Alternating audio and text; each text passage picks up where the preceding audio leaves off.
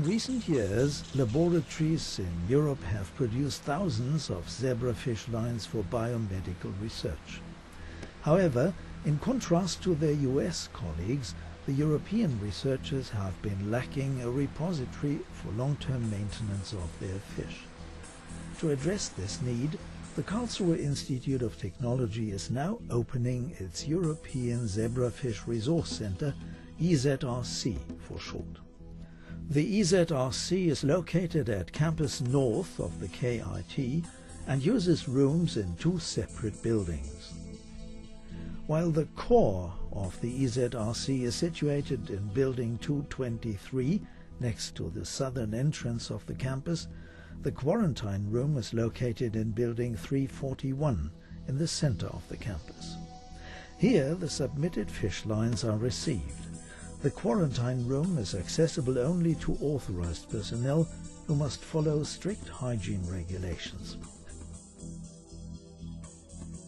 Equipped with 432 fish tanks and 240 mouse cages, it has a holding capacity of approximately 25,000 zebrafish in total and includes an internal cleaning kitchen with an autoclave. All equipment used for the quarantine room is cleaned and disinfected here and stays in the fish room.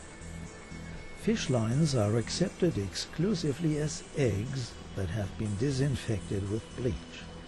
Prior to sending them, submitters must fill a form detailing the lab of origin, the legal status, the genotype and, if applicable, assays for phenotypic identification. After a microscopic entrance examination, the fish will be raised and crossed and their identified offspring will be transferred, likewise as disinfected eggs, to the core fish room. The core facility is also subject to rigid hygiene regulations. Access is only permitted for specially trained staff who must change clothes in the security lock. A separate material lock allows to introduce clean equipment and animals meeting the highest hygiene standards. The core facility consists of two fish rooms with Aqua Schwarz aquarium systems with a total of 960 tanks and 888 mouse cages capable of housing approximately 65,000 zebrafish. Water flows into the system automatically from storage tanks in the basement. In addition, the most important water parameters are monitored electronically.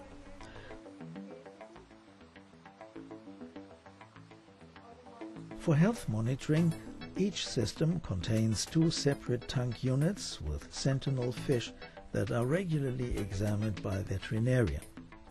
Live food cultures, an internal bathroom, a dishwasher, an autoclave and a washing machine for laboratory clothing make the core facility self-sustaining. The aquarium system was run in in February 2012 and is now ready to accept the first fish. In the near future, a computer and microscopes will be installed that will enable sperm freezing and in vitro fertilization to be carried out directly in the core facility. These procedures are necessary because only the most important lines can be kept as live fish, in spite of the generous size of the fish rooms, while thousands more will be kept as cryopreserved sperm samples. A molecular biology lab is located on the upper floor.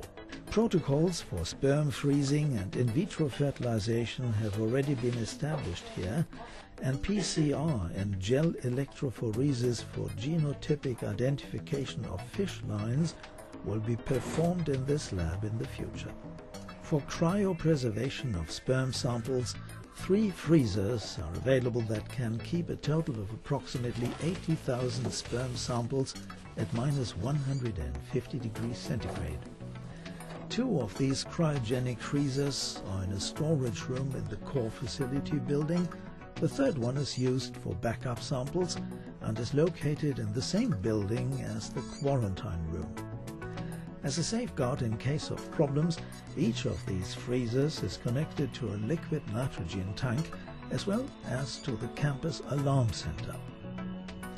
The EZRC will not just keep fish, but will also offer guest researchers the opportunity to perform systematic research on them. Selected fish lines can be reared for such screens in a separate screening fish room in Building 341. The aquarium system in this room is equipped with 400 mouse cages and 612 tanks providing space for approximately 35,000 fish. The room also has its own cleaning kitchen. Technologies for automated screens will be provided by the Zebrafish Screening Center Embryo sorters constructed at the center transfer zebrafish eggs and larvae up to an age of 120 hours to microtiter plates. For high-resolution 3D fluorescence imaging, a selective plane illumination microscope, or SPIM, is available. Three automated fluorescence microscopes and computer clusters with custom image processing software are used for intelligent high-content screening experiments of cells and embryos in microtiter plates. Last but not least, Building 341 also houses a sequencing lab with an Illumina HiSeq 1000 sequencer operated by Dr. Olivier Armant. Thanks to this lab, the EZRC will also be able to offer its users a sequencing service for RNA sequencing and SNP mapping of zebrafish lines. With 10 full-time employees and a unique range of services, maintenance and distribution of live fish, cryoconservation of sperm, provision of animals and technologies for screens and sequencing, the EZRC will be serving zebrafish research from 2012 onward.